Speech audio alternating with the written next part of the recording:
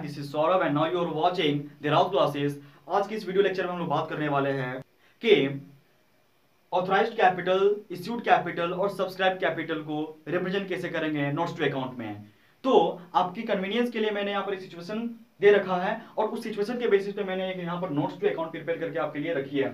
तो जैसा कि आप जानते हैं, लिखने में वो समय लगता है। मैंने पहले से लिख रखा है और आपको मैं अभी समझाने वाला हूँ। इस केस को that prepare note to account showing share capital when a company has received full nominal value of the shares मतलब कि सब्सक्राइब भी है और फुल्ली पेड अप भी है तो आपको इसको नोट टू अकाउंट्स में कैसे रिप्रेजेंट करना है तो take an authorised capital of the company as rupees 10 lakh divided into 7500 equity shares of rupees 100 each and 5000 preference shares of rupees 50 each provided the total issued as well as the subscribed capital are the same as that of the authorized capital मैंने यहाँ पर आपके लिए provide किया है note to accounts आप देख सकते हैं मैंने एक कॉलम रखा है पार्टिकुलर्स के लिए और दूसरा कॉलम रखा है अमाउंट के लिए तो आप देख लीजिए पार्टिकुलर्स में सबसे पहले जो मेरा हेड है वो है शेयर कैपिटल का शेयर कैपिटल में क्या है अंडर? कि आपका ऑथराइज्ड कैपिटल सबसे पहले हम लोग दिखाएँगे कि आपकी कंपनी की जो ऑथेंट ऑथोराइज्ड कैपिटल वो कितनी है।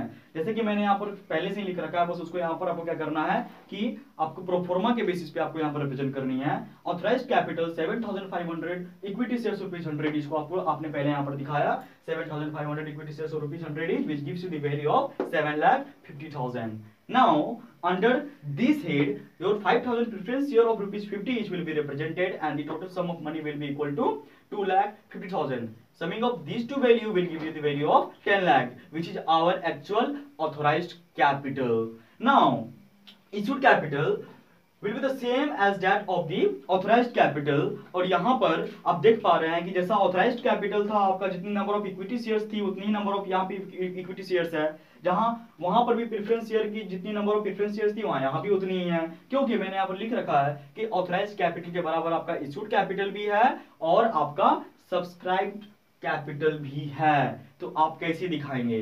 तो जैसा कि आपका ऑथराइज्ड कैपिटल होगा, उतना ही आपका इश्यूड कैपिटल होगा, उतना ही आपका सब्सक्राइब भी होगा। तो सब्सक्राइब में मैं आपको बस बताना चाह रहा था कि अगर फुल्ली पेड अप हो तो आपको कैसे क्या रिप्रेजेंट करनी है? तो सब्सक्राइब कैपिटल के अंदर में आपका सब हेड आएगा subscribe and fully paid up लिख करके, और उसके नीचे आपको लिखना है 7500 equity shares of rupees 100 each and 5000 preference share of rupees 50 each और ये भी आपको वैल्यू देगी 7 लाख 50000 इक्विटी शेयर्स की, और टू लाख 50000 आपका प्रेफरेंस शेयर का। और दोनों को जोड़ेंगे तो आपकी वैल्यू आ जाएगी टेन लाख की, जो कि ऑथराइज्ड कैपिटल के बराबर है। अब हम लोग आगे बात करने वाले हैं। Subscribe but not fully paid up के केस को हम लोग रिप्रेजेंट कैसे करेंगे नोट्स टू अकाउंट में।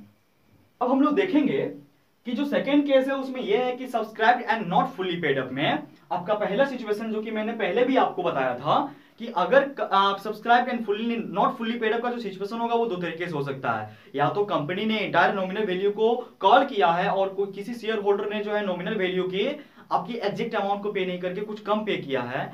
और दूसरी केस जो आपकी आती है, वो ये आती है कि कंपनी ने खुद इंटायर वैल्यू को कॉल नहीं किया है। तो भी क्या होगा कि जो अमाउंट वो कंपनी रिसीव करेगी, वो फेस वैल्यू से कम होगी।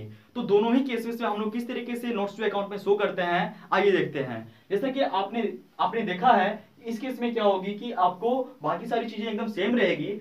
ये केस ये है कि आपको आ, आपकी जो नॉमिनल वैल्यू है कंपनी ने इंटायर नॉमिनल वैल्यू कॉल किया है बट कुछ आपके ऐसे एक ऐसे शेयर होल्डर हैं जिन्होंने एक या दो भी हो सकते हैं कुछ भी हो सकते हैं मैंने यहाँ पर बस एक ही रखा है shareholder holding hundred share equity share only तो इसमें क्या है कि बस आपके एक सौ शेयर होल्डर जो है इक्विटी शेयर होल्डर को वो मीन इक्विटी शेयर होल्डर के वो मालिक हैं तो उन्होंने क्या किया है कि बीस रुपए कम पे किए हैं इक्विटी शेयर पे। तो अगर आपकी फेस वैल्यू इक्विटी शेयर की हंड्रेड थी हंड्रेड थी तो अभी कितनी हो गई है वो? एट्टी रुपीज़ उन्होंने एट्टी रुपीज़ के हिसाब से इसको पे किया है। ट्वेंटी रुपीज़ नहीं किया है। तो अब हम लोग इसको नोट्स टू अकाउंट में कैसे दिखाएँगे? बाकी सारी चीज़ें एकदम सेम रहेगी, इसलिए मैंने यहाँ पर नहीं लिखा है दोबारा। स्पेस भी कम थी, इसीलिए थोड़ा सा मैनेज करिएगा अभी। तो सब्सक्राइब कैपिटल की हेड में बाकी authorise capital issued capital same रहेगी। सब्सक्राइब कैपिटल बस आपको यहाँ पर थोड़ा सा चेंजिंग दिखाई देगा। सब्सक्राइब कैपिटल में आपको नीचे लिखना है subscribe and fully paid up में। फुल्ली पेडअप यहाँ पे मैंने क्यों लिखा है? क्योंकि आपकी 100 शेयर्स को इक्विटी शेयर्स को छोड़ के बाकी 7400 शेयर्स तो आपकी नीट एंड क्लीन है, जहाँ पर कोई भी छेड़छाड़ नहीं किया गया है। इसलिए 7400 जो इक्विटी शेयर्स है, उस पर आपको एक सौ रुपए के हिसाब से सेवन लाख फोर्टी आपको मिल रहा है। फाइव थाउज़ेंड प्रेफरेंस शेयर उसमें भी कोई छेड़छाड़ नहीं इसलिए फिफ्टी रुपीज़ के हिसाब से आपको इसमें भी रुपया रिसीव हो रहा है। मतलब कि टू लाख फिफ्टी थाउज़ेंड आपको यहाँ पर रिसीव हो रहे हैं। आगे, आपका जो हेड होगा, वो होगा subscribe but not fully paid up में। यहाँ पर जो कंपनी ने कुछ गलती नहीं करी है कंपनी ने पूरी इंटायर वैल्यू को कॉल किया है बट एक शेयर होल्डर ऐसे हैं जो कि एक सौ शेयर के मालिक हैं, और उन्होंने खुद अपने तरीके से, अपने तरफ़ से उन्होंने बीस रुपए कम पे किए एक सौ रुपए। तो उसके लिए हम लोग यहाँ पर इस चीज़ को रिप्रेजेंट करेंगे। Subscribe but not fully paid up के हेड में। यहाँ पर लिखेंगे कि hundred equity share at the rate of hundred rupees जो कि आनी चाहिए थी, उस पर उन्होंने क्या किया है कि सर बीस रुपए के हिसाब से एक सौ रुपए रिसीव सॉरी वो पेमेंट नहीं दिया है उन्होंने। तो इसको हम लोग क्या करेंगे? Hundred into twenty rupees each ये हो जाएगा आपका two thousand rupees ten thousand का आपका यहाँ पर क्या था? ये आपका ड्यू था और उस पर दो सौ, दो हज़ार रुपए जो है वो आपने रिसीव नहीं किया है। आपने कितना रिसीव किया है? तो एट थाउज़ेंड जो कि एक सौ शेयर ने आपको दिया है।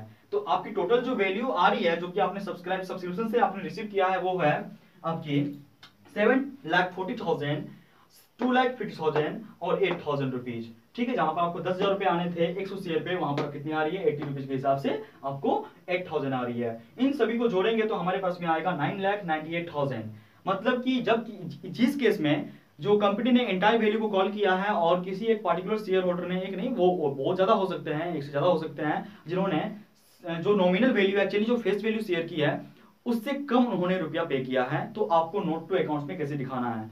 आपके मन में यह भी क्वेश्चन अराइज हो रहा होगा कि सपोज़ कर लीजिए सर कि कंपनी ने खुद अपने शेयर इंटायर वैल्यू जो शेयर की होती है, उससे उन्होंने कम कॉल किया है।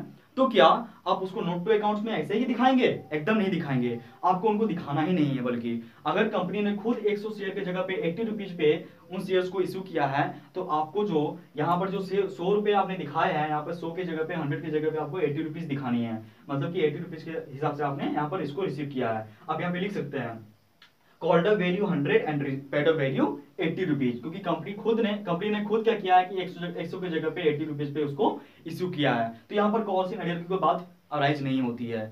आई थिंक कि अब आपको ये सब सिचुएशन क्लियर हो गया होगा और आपको नोट्स टू अकाउंट प्रिपेयर करने में कोई प्रॉब्लम आगे से आने वाली नहीं है।